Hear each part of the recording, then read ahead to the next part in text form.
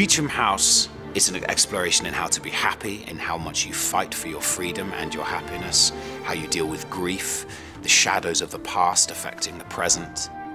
The centre of it is this character, John Beecham, who is fighting against the corruption in India. He's had quite a tragic past. He's trying very hard to get his life on track. John cut ties with East India Company because it was a growing sense of unease in their practices.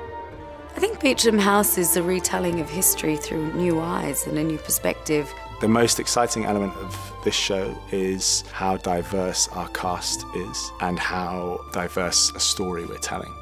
Beecham House is a story of these individuals who are losing themselves and finding themselves. Beecham House is one of those shows that will transport you not only to a different country, but also a different time. And so you can lose yourself in the morals of the time, the dilemmas of the time, and really feel like you've immersed yourself in that world and come out the other end. And that's all you can ask for in a great TV series.